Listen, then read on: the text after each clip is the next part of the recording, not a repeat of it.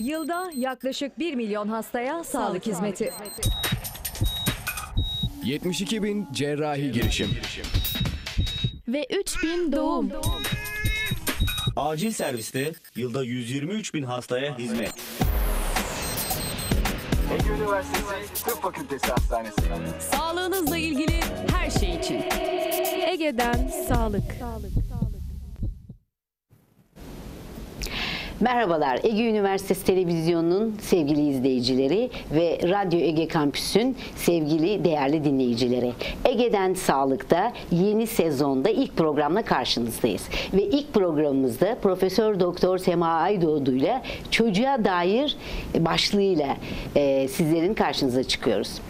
Ülkemizin e, çok gergin olduğu bir süreç içerisinde bu programa başlıyoruz ve biz çocuklarımız adına iyi, güzel ve doğruları söylemeye devam ediyoruz. Sosyal, kültürel, ekonomik, iç politika, dış politika açısından son aylarda ülkemizde oldukça gergin günler yaşanıyor ve iklim yavaş yavaş hava serinlemesine karşın ülkemizin gündemi halen Temmuz sıcağında ve o aylardan bugüne kadar bu gerginlik içinde çocuklarımızı büyütmeye, esenliğe kavuşturmaya tabii ki devam ediyoruz ve devam da edeceğiz.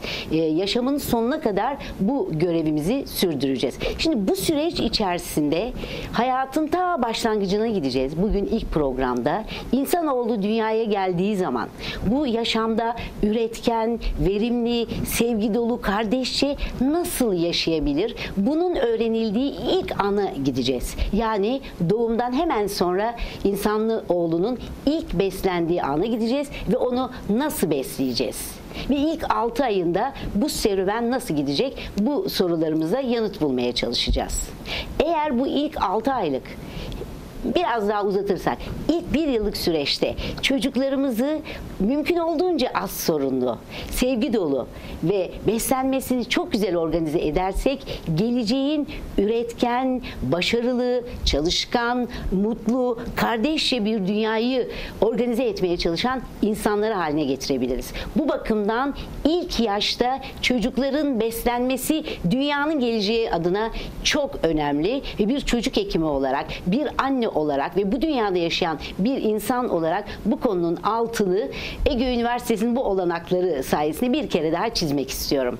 Bu konuda stüdyomuzda gene Ege Üniversitesi Çocuk Hastanesi'nden bir öğretim üyesi arkadaşımız var. Geçen sezondan en çok izlenen programın konuğu Güldane Koturoğlu. Kendisi tabii ki e, Profesör Doktor Çocuk Hastanesi'nin önemli öğretim üyelerinden birisi. Hem poliklinikte hem genel pediatride çalışıyor. Güldane hoş geldin. Hoş bulduk. Çok teşekkür ederim. Evet, insan hayatında beslenme doğduğu andan itibaren başlayan bir süreç. Ve bu süreçte biz anne sütü diyoruz. Anne sütü, anne sütü diyoruz. Bütün dünya bunu söylüyor, çocuk hekimleri bunu söylüyor. Neden anne sütü? Bizler için anne sütü ne anlama geliyor? Neler dersin? Söz senin. Çok teşekkür ederim öncelikle ve gerçekten bu e, hafta biliyorsunuz ki 1 ila 7 Ekim e, arası Dünya Emzirme Günü. Hani böyle bir konuyu da seçmiş olduğunuz için ben sizlere çok çok teşekkür ediyorum tekrardan. Bebekler bizim için çok önemli. Çocuklarımız çok önemli ve bizim e, mutlak surette onları çok güzel bir şekilde beslememiz, eğitmemiz, özgüvenlerini vermemiz gerekiyor. Ve bunu yaparken de beslenme deyince bizim hala da ilktir, ilk aklımıza gelen şey emzirmedir, anne sütüdür. Neden? Çünkü anne sütü hazırdır. Bebek her istediğinde anne hemen çocuğa onu verebilir ve gerçekten çok çok yararlı. Ve Bir de emzirme haftası diye dünya bir haftayı bu işe ayırmış. evet. Değil mi? Yılın bir haftasını 52 haftadan bir haftasını emzirmeye ayırmış. Bütün dünyanın bu konuya verdiği önemi gösteriyor bu da aynı zamanda. Tabii ki. Yani çünkü hiçbir mama hiçbir diğer beslenme e, ögeleri anne sütünün yerine geçemez. Mümkün değildir böyle bir şey. Bu Ve- bilgi yaşamın ilk kaç ayı için e, mutlak geçerli? İlk 6 ay. İlk yani altı ay. yaşamın ilk 6 ayında biz diyoruz ki sadece anne sütü. Neden? Çünkü su bile yani biliyorsunuz ki anne sütünün büyük bir o %85 kadarı sudan oluşuyor zaten. İlk 6 ay suya bile gerek kalmaksızın çocuğun tüm besin ögelerini her şeyin tüm gereksinimlerini karşılayan bir beslenme şeklidir. Bütün vitaminler diyoruz. Bir Proteini, proteini, şekeri, yağı ama bir vitamini Bir. eksik. Onu da izleyicilerimize hemen bu yani arada tabii, e, iletelim. D vitamini tabii ki eksik. Dolayısıyla biz mutlaka bebek doğduğunda mutlak surette D vitamini günlük ihtiyacı olanı kadar vermeye başlıyoruz. Ama onun haricinde bebeğin Güneşten tüm ihtiyaçlarını tabii bebeğin tüm ihtiyaçlarını zaten de karşılıyor. Ve anne sütü gerçekten o kadar yararlı ki. Hani biz diyoruz annelerimizi mutlaka doğum öncesi hatta e, daha hamilelik dönemindeyken annelerimize emzirmeye eğitimleri veriyoruz. Emzirmeye alıştırıyoruz. Bunu yaparken de anne Burada sözünü Tabii. keseceğim. Türkiye'de henüz bunun uygulamaları yok. Dünyada bazı merkezlerde var. Gebelik süresince ilk önce kadın doğum hekimine gidiliyor. Çok güzel. Kadın doğum hekimi 8 ay 9 ay onu izliyor. Doğumdan veyahut da sezeryan neyse hemen bebeği bizim elimize veriyor ve yok oluyor. Anne birdenbire karşısında bir çocuk hekimiyle karşılaşıyor. Evet. Halbuki 9 ay kadın doğum hekimi izlesin.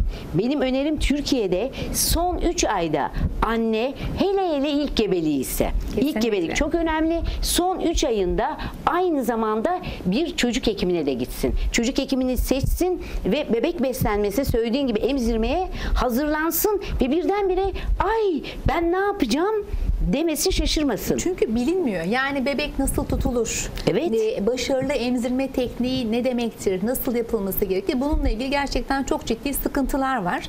Bundan dolayı hani dediğiniz şey çok mantıklı, çok doğru. Mutlaka şimdi bizim kadın doğum servislerimizde de aslında başladık biz Ege Üniversitesi'nde. Yavaş. yavaş yavaş. Normal gebelik takibi yapılırken son aylarda emzirme konusunda da eğitim veriliyor. Ama tabii bu her gebeye ulaşılamıyor. Evet. Sadece hani Bize buraya gelenlere. gelebilen gebelere ulaşılabiliyor. O zaman lütfen Ege Üniversitesi Kadın Doğum Kliniğine gebelik izlemlerinizi yaptırınız ve gebelik esnasında çocuk hekiminizle karşılaşma şansınız da olacaktır diyelim. Kesinlikle. Kesinlikle. Çünkü bebek için gerçekten çok önemli. Biz anne sütünün yararlarını sayarken annelere bu emzirme eğitimlerini verirken bebeğe yararlıdır diyoruz. Çok Yani önemli. Çok önemli. Her canlının sütü kendine. Kesin- dolayısıyla bizim bebeğimize en Evet. uygun olan anne sütü. Bebeğe yararlıdır Yararlı. tabii. Anneye yararlıdır diyoruz. Aynı zamanda ekonomik yararlarından dolayı babaya yararlı, devlet ekonomisine yararlı. Dolayısıyla gerçekten çok çok yararlı bir beslenme şekli. Toplumun ekonomisi açısından Tabii da çok ki. önemli. Yani Tabii ki. bizim oradaki bütün derdimiz anne ile bebek arasında ve bebeği iyi nasıl besleyebilirim stresinde. Özellikle ilk e, bebek sahibi olan anneler için. Ama Tabii. bu arada e, anneye yararı var, topluma yararı var, ekonomiye yararı var. Tabii. Tabii çok önemli bir durum. Peki hayatın ilk başlangıcında annede ilk sütün gelişi. Evet. Ağız sütü deniyor. Evet. Biz kolostrum diyoruz Evet. tıbbi e, literatürümüz içerisinde. Bununla ilgili toplumda bazen farklı uygulamalar var. Ne diyeceksin? Evet. Şimdi e, normalde bebek doğduktan sonra hemen anne bebeğini emzirebilir. İlk gelen sütü Ama bizim orada söylediğimizde sezeryan da olsa, e, doğum da olsa hemen bebeğin annenin memesine konması. İlk yarım saatte bebek doğduktan sonra hani aynı odada kalmalı. Anne Evet. ile bebek zaten mutlak surette ve hemen anne emzirmelidir. Bu bizim çok çok önemlidir. Çünkü e, sütü en iyi getiren, süt salgılanmasını en iyi artıran bebeğin emme hareketleridir. Dolayısıyla bizler bebeği hemen e, anne memesinin ilk yarım saat içerisinde hemen tutmamız gerekiyor. İlk gelen süt çok böyle yoğundur.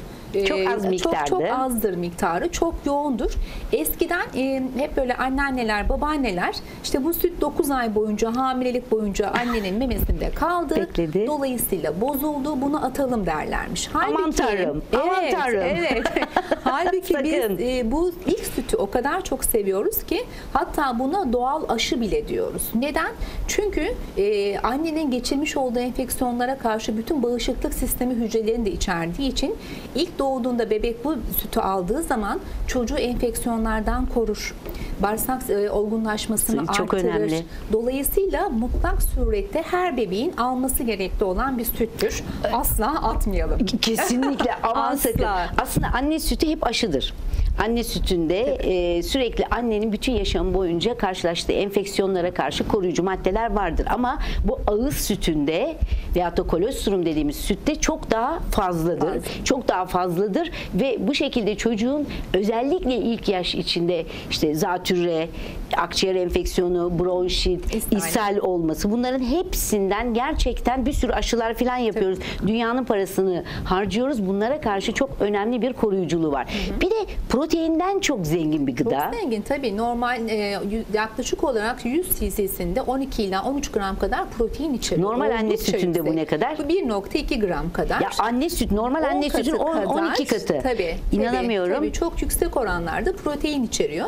Dolayısıyla hani çocuk açısından ve aynı zamanda e, bağırsaklardan salgılanan immunoglobulin dediğimiz bağışıklık sistemi hücreleri de o kadar fazla var ki dolayısıyla çocuklara bu yeni doğan döneminde enfeksiyon hastalıklarının korunması açısından oldukça yardımcı oluyor. Çok güzel bir şey söyledin arada. Yani anne sütüyle anneden bebeğe sadece e, antikor dediğimiz koruyucu maddeler değil, canlı hücreler Canlı de hücreler geçiyor. de. Yani anne sütü aslında canlı. E, farklı içinde bir sürü koruyucu hücreler var. E, bir takım faydalı bakteriler Tabii, bile tabii var. ki, Son yıllarda ki, değil mi? Artık tabii bunu ki, söylüyoruz. Tabii ki.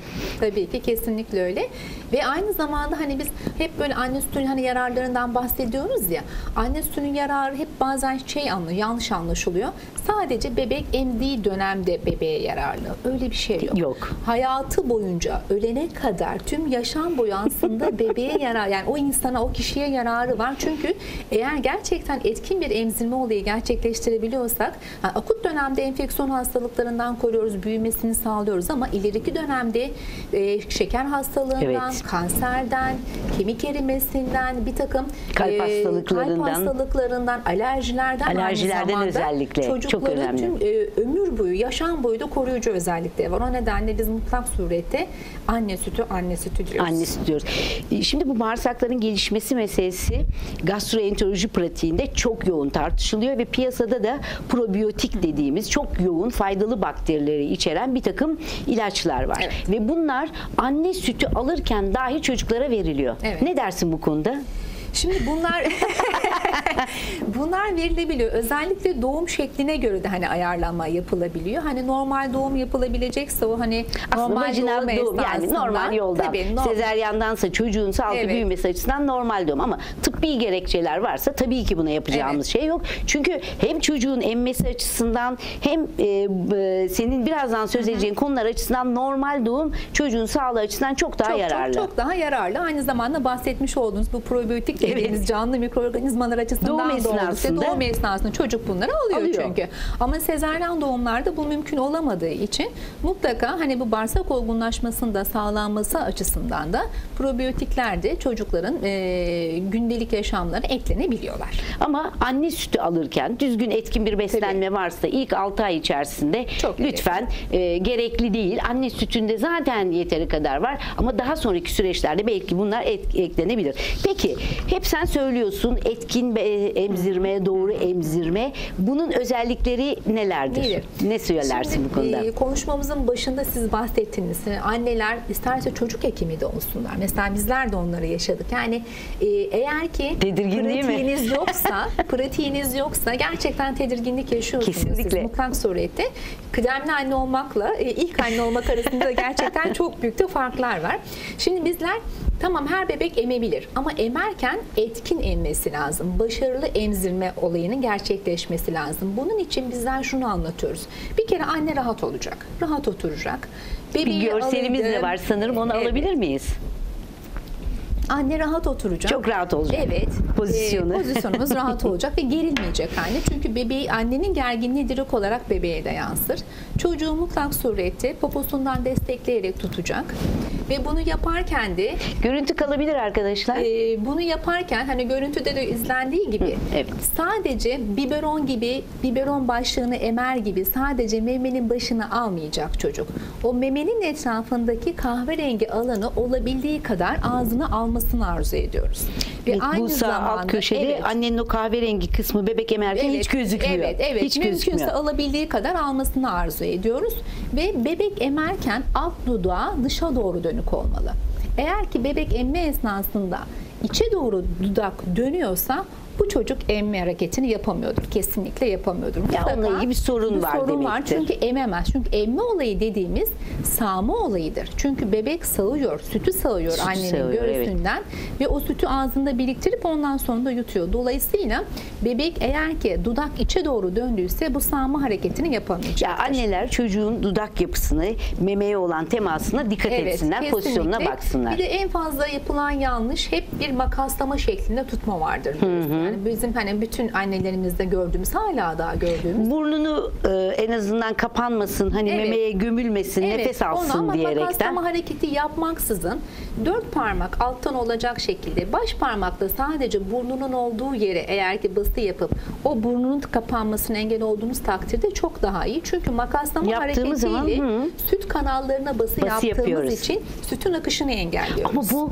o kadar geleneksel bir eylem Geleneksel, ki. Evet. Herkesi çünkü emzirme dediğiniz Öyle zaman hemen evet makaslama şekline tutulması gerekiyor. Yani sadece şöyle üst taraftan bastırmak. Sadece şöyle göğüsü alttan dört parmakla destekleyip üstten Üstten sadece burnun olduğu kısmına basarak burnun tıkanmasına engel olmak. O kadar. Onun Yani biz bir şey çok güzel bir eylem yapıyoruz derken makaslama ile süt kanallarını Süt kapatıyoruz. engelliyoruz aslında. O çok önemli. Tabii bu arada bu işi yaparken aynı zamanda biz anne çocuğu alsın hani sadece emme olayı yapsın demiyoruz. O sırada bebeğiyle konuşması lazım, bebeğine dokunması lazım, güzel sözcükler e, söylemesi lazım. Çünkü anne ile bebek arasındaki özgüven gelişiyor. Annenin çocuğuna yetebilir hissi anneyi daha sonraki ortaya çıkabilecek olan bir takım psikolojik rahatsızlıklardan korumuş oluyor. Ve bebek de gerçekten kendi özgüveni yüksek bir bebek olarak da hayatına devam, devam etmiş, etmiş oluyor.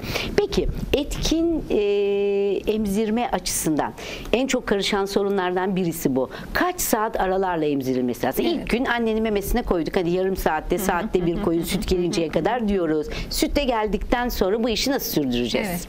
Şimdi gerçekten Gece gündüz çok- emzirecek Şimdi miyiz? tabii bazı annelerimiz çok böyle hani e, saat başı saat kurup bebeği kaldırıp kaldırıp böyle emziren Ha, annelerimiz bundan yana de değiliz. oluyor. Değiliz. Biz çocuk hekimleri Evet, olarak değiliz. saati çocuğun ayırmasın, ayarlamasından Evet, yanayız. ama ilk yeni doğan dönemi şöyle bir dönem diyoruz. Hani biliyorsunuz çok özellikle bir dönem olduğu için yeni doğan dönemi. İlk bir ay, yaşamın ilk bir aylık ilk dönemi. bir aylık döneminde bebek her istediğinde emziriyoruz. Ama ondan sonra zaten ikinci ayından itibaren yavaş yavaş onlar ikişer saatlik, üçer saatlik aralara da zaten bölmüş oluyoruz. Ve üçüncü ayından sonra artık üçüncü ayından itibaren de eğer ki bebek uyuyorsa uyuyan bebeği gece uyandırıp da emzirme olayını yapmamıza gerek yoktur. Ama ilk yeni doğan dönemi yani ilk bir aylık dönem önemlidir. Mutlaka en az iki saatlik aralıklarla gece beslemesinde yapılması gerekiyor. Gecede devam Evet, etmemiz evet. gerekiyor. Zaten anne sütü, e, süt yapısı olarak inek sütünden tabii ki çok farklı. Değil mi? Yağı bile bitkisel yağ. Öbürününki hayvansal yağ Tabii, özelliğinde inek sütünün. içindeki proteinleri küçük küçük parçalar halinde bebeğin bağırsağına uygun e, ve şekerden de son derece zengin. Kolesterolden çok zengin. Sevgili izleyiciler, dünyada kolesterolden en zengin gıda anne sütüdür ve bebeklerin bütün o cildinin güzelliği de bu kolesterole bağlıdır. Bunu hiç unutmayınız. Kolesterolüm çok yüksek diye de her zaman dert etmeyiniz deyip bu konuyu da bu arada kapatmış olayım. Şimdi anne sütünün bu kolay e, sindirilebilir özelliği bebeğe göre ayarlanıyor. Erken doğmuşsa ona göre anne sütünün özelliği var değil mi? Tabii. Gününde doğmuşsa ona Tabii, göre. Kilosu tabii. düşükse yani her e, annenin sütü kendi bebeğinin özelliğine göre ayarlamış. Biz çünkü dışarıdan Tabii, onlara tabii. Göre her özel bir Mümkün ürün değil. üretemeyiz. Dolayısıyla o bebek ilk aylarda zaten nedir? Mideyi çok kolay terk eder. Bir buçuk iki saatte yavaş yavaş yavaş yavaş uyanmaya başlar. Karnı acıkınca uyanacaktır. Tabii. Onun için Tabii. ilk aylarda e, gecede buna devam ediyor. Yani çocuk ayarlıyor aslında Tabii, bunu. tabii hiç ki. biz böyle saati kuralım, kaldıralım bilmem ne böyle gerginliğe hiç gerek, gerek yok. Ben hatırlıyorum e, benim oğlum düşük doğum kiloluydu. iki buçuk kilo doğmuştu. Ben böyle çocuk hekimiyim. O büyüme eğrilerini alıyorum, boyunu koyuyorum, kilosunu koyuyorum. Bir de doğum sonrası biliyorsun annelerin depresyonu da var. Eyvah bu çocuk nasıl büyüyecek filan diyerekten e, o eğrilere filan bakıyorum. Gece gündüz onu emzirmeye filan çalışıyorum. Benim bu stresim var ama çocuk çok güzel bir şekilde bu açıkları kapattı. İlk ay içerisinde inanılmaz kilo aldı. Hiçbir destek olmaksızın ama benim de gene de stresim burada vardı. vardı ve bir aya geldi. O bütün açığını bir ay içerisinde kapattı ve ondan sonra ben bir de asistandım o zaman. Ben gece hiç kalkmadım. Yani 11 12'de bir aydan sonra bebeğim 11 12'den sabah 5'e kadar uyurdu. Çok ben de, ben de 5'te kalkardım, emzirdim, hazırlanırdım ve hastaneye giderdim. Hani böyle de Evet. olabiliyor Tabii ki, yani. Tabii ki, tabii ki kesinlikle. Çünkü ben bakıyorum bazen bir yaşında bile gece üç kere dört kere anneler kalkıyorlar. Saat kuruyorlar. Saat kuruyorlar değil mi? Yani hem kendilerine yazık ediyorlar hem bebeklerine sebeplerini. Çünkü uyuyan bebek gayet güzel, iyi, kilo alımı gayet iyi, huzurlu, mutlu bir bebekse yani saat Uyandırmayın. başı artık 3. aydan sonra Uyandırmayın. uyandırmamak lazım. Uyandırmayın. Peki annelerin tabii etkin emzirmeyi konuşuyoruz. Başarılı olması için psikolojileri de çok önemli. Bir de Tabii. doğum sonrası ne yazık ki bütün annelerin yaşadığı bir depresyon var. Evet, evet. Emziren annelerin veyahut da lohusa annelerin bir depresyonu var. Bu konuda neler söylersin? Bu da aslında gene e, annenin bebeğine bir tık daha güzel şeyler sunabilmek e, ihtiyacından, yapamama korkusundan kaynaklanan aslında bir takım olaylar. Biz de bunu işte iki şekilde sınıflandırıyoruz. Bir daha böyle basit olarak yani hepimizin yaşadığı annelik hüznü dediğimiz çok daha hafif bir formu var. Bir de gerçekten bazen eğer altta da annede böyle bir e, psikiyatrik rahatsızlığa da bir yatkınlık varsa da Belki de çevre anne- koşulları tabii çevre filan- koşulları da etkili olup anne e, doğum sonrası depresyonlar da ortaya çıkabiliyor. Ve dolayısıyla bu gibi durumlarda anne bebeğe yararlı olayım derken aslında zararlı Zarar oluyor. vermeye İşte ilk konuşmanın başında bahsettiğiniz hani anneleri emzirme olayına alıştırma olayını aslında gerçekleştirilebilirse bu annelik hüznünden de büyük bir oranda kurtulmuş olacağız. Çünkü anneler nasıl emzireceklerini bilecekler.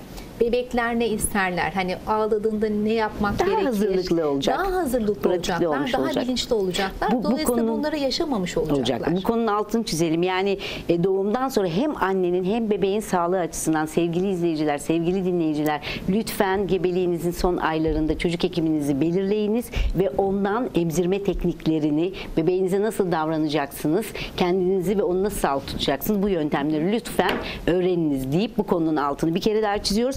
Peki kaç dakika emzirecek anneler? Tamam ilk önceleri saat başı olabilir ama yavaş yavaş bir buçuk iki saate kadar açılıyor. Peki kaç dakika emzireceğiz? Biz şöyle diyoruz. Biz Acaba kere- duyacak mı? Değil mi? Annelerin şeyi var kaç dakika emzireceğim Acaba duyacak mı? Aç mı kaldı?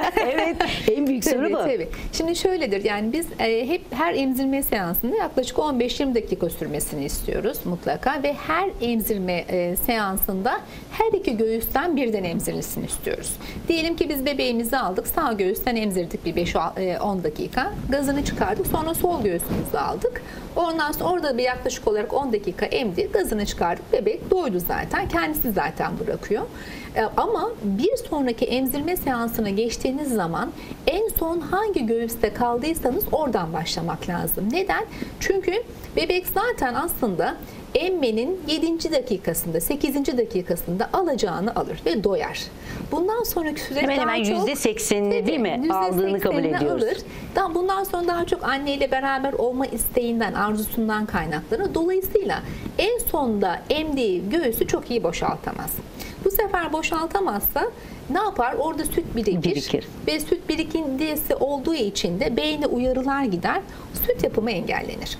Dolayısıyla mutlaka bebeğin iyi boşaltması lazım. Dolayısıyla bir sonraki emzirme seansında en son hangi göğüste kaldıysa anne oradan emzirmeli ki o göğsü de boşalsın. Süt yapımı da bu şekilde sürekli olarak artarak devam etsin. Peki bebek emdi ama her iki göğüs de tam boşalmadıysa onların ilk aylarda veyahut da ilk günlerde e, mekanik bir takım pompalarla boşaltılmasını önerir misin? Olabilir. Bazen çünkü bazı annelerin gerçekten süt Çok çok, oluyor, daha evet. fazla olabiliyor. O gibi durumlarda biz onları hani sağma süt sağma makineleriyle boşaltıp e, dolapta tutabilirler yaklaşık 7 Ha, gün evet, bu kadar. olanaklar Tabii, var Veya hani şimdi. veya şey de olabilir. Dip frizde de kalabilir. 6 ay kadar dip frizde de kalabilir. Özel poşetleri var, saklama poşetleri ve daha sonraki bir dönemde de gayet rahat kullanabilirler. Onları kullanabilir. Tabii. Bir de tabii işe başladığı zaman o süreçlerde bunları tekrar kullanma şansı Tabii. var. Çünkü 3 aya kadar dip frizde sanırım bunlar Kal- kalabiliyor. kalabiliyorlar. Peki e, bebekleri e, etkin emzirme açısından 15-20 dakika emzireceğiz. Bazı yayınlarda 40-45 dakikaya falan çıkıyor. Aman sakın bu sefer annenin meme başı çatlıyor. Hiç emziremez hale gelmiş oluyor. Şimdi e, bu arada bazen anne memesini emerken çocuklara su biberonla filan veriliyor. Bu arada şunu ben iznine söylemek istiyorum. İzmir'de yaşayan bir çocuk hekimi, çocuk gastroenteroloğu olarak lütfen e, emzirdikten sonra çocuklarınıza çay kaşığıyla çok az miktarda da olabilir. Hiç önemli değil. Kaynamış, e, soğutulmuş, ılıtılmış sudan ikram ediniz. Bir kaşık bir dam ne alıyorsa lütfen bunu yapınız. Hani anne sütü alırken her şeye yeterlidir diyoruz ama anne yorgun, üzgün, anne de terliyor, bulunduğu ortamda yaşıyor. Onun da sütü azalabilir. Yaz su mevsimi. ihtiyacı yazın. Tabii. Özellikle biz su verilmesine karşı değiliz. Bunu özellikle belirtmek istiyorum. Ama kaşıkla dedim. Ama kaşıkla dedi. Evet. Şimdi burada bir biberon konusu Evet. var. Şimdi tabii bizim aslında en büyük sorunumuz bu. Yani Bütün anne- dünyada aslında bu yani sorun. Çok ciddi sorun. Çünkü anne sütünü gayet güzel alan bir bebek. Kilo alımı da gayet iyi. Herhangi bir sıkıntısı yoksa e, bazen gerek su gerekse anneler işte komşularından duydular, arkadaşlarından duydular şeklinde. İşte onun çocuğu daha kilolu deyip çocuklara biberonla mama da verebiliyorlar. İşte biz bunu istemiyoruz. Çünkü biberon ve mama anne sütünü bebeğe sunduğunuz zaman şimdi e, anne sütü nedir dedik? Emme olayı sağma olayıdır. Ama biberon ağzına koyarsınız bebek Lıkır onu lıkır sadece lıkır lıkır akıyor. içer. Dolayısıyla biz o bebeğe bir biberon verdik, bir anne sütünü emzirmeyi sunduğumuz zaman çocukta bir karışıklık yaşıyor, bir karmaşa yaşıyor. Ben acaba anne sütünü mü emiyorum şu anda, emzirme olayı mı gerçekleşiyor yoksa biberonu mu alıyorum? Ve bir süre sonra kolay olan nedir? Biberondur. Biberondur. Ve çocuk buna doğru kayar. Anne sütünü emmeyi, o sağma hareketini yapmayı bırakır. Dolayısıyla anne sütü alan bir bebeğe biz hiçbir şekilde biberonla beslenmesini önermeyiz. Hiçbir şekilde. Zaten hani çocuk gayet güzel kilo alıyorsa böyle bir Anne şeyde ihtiyaç da yoktur zaten. verilmek is- isteniyorsa da su kaşıkla, Su kaşıkla verilecek. verilecek. Peki burada en büyük sorun annelerin en büyük tatminsizliği benim sütüm yetiyor mu? Evet.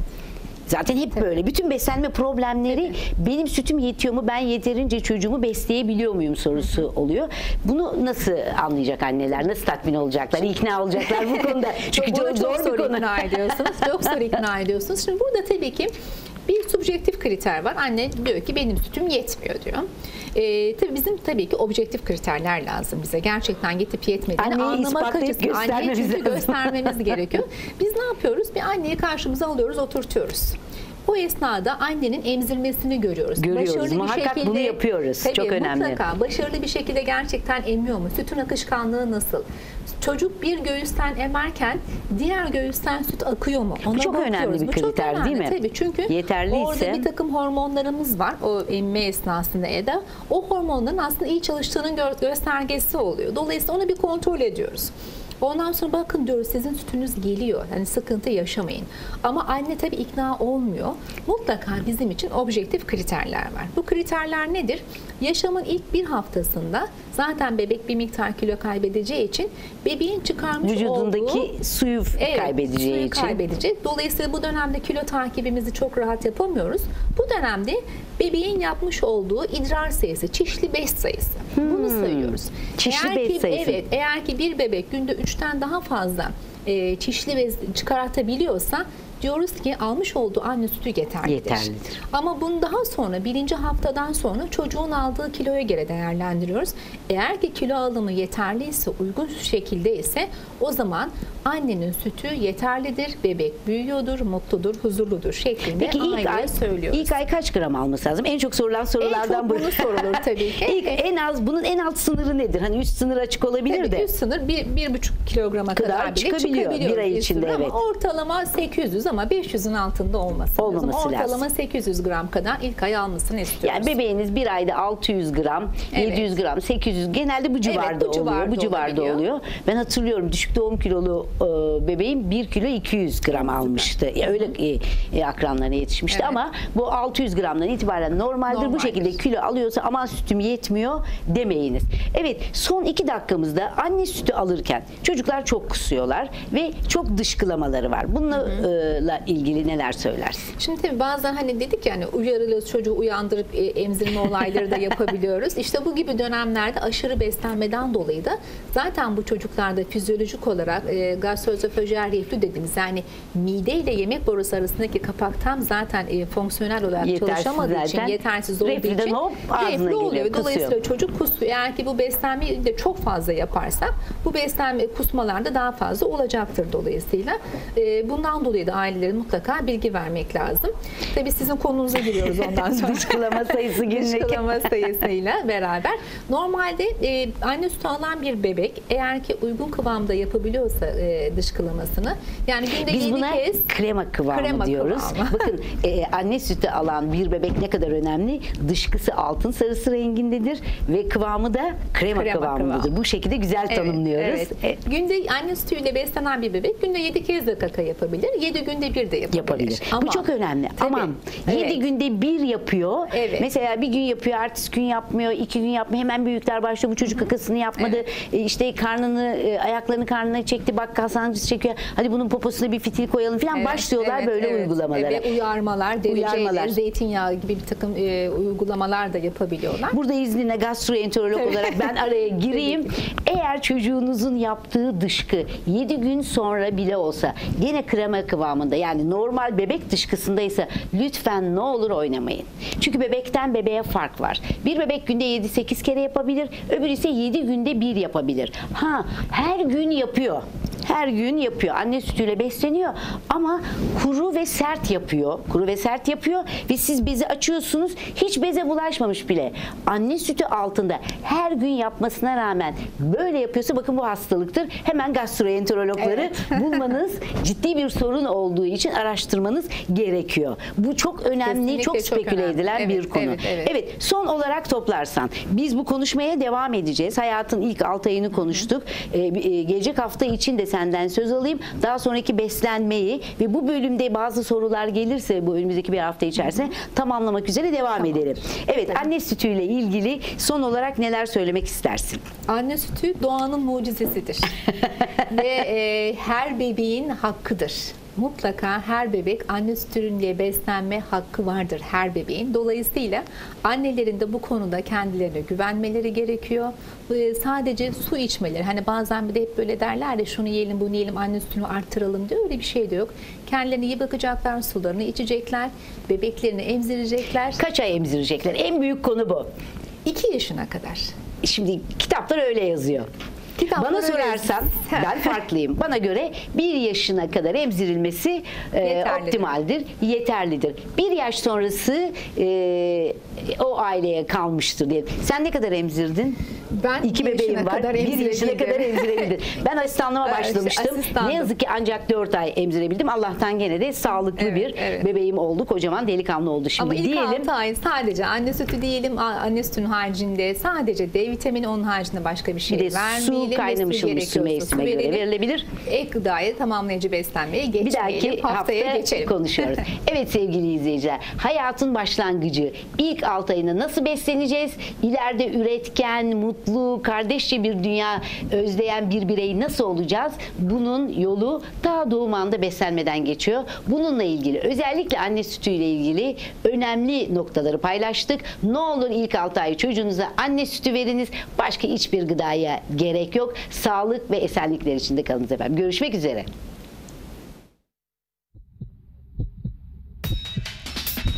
Yılda yaklaşık 1 milyon hastaya sağlık hizmeti. 72 bin cerrahi girişim. Ve 3000 doğum. Acil serviste yılda 123 bin hastaya hizmet. Ege Üniversitesi Tıp Fakültesi Hastanesi. Sağlığınızla ilgili her şey için. Ege'den sağlık. sağlık.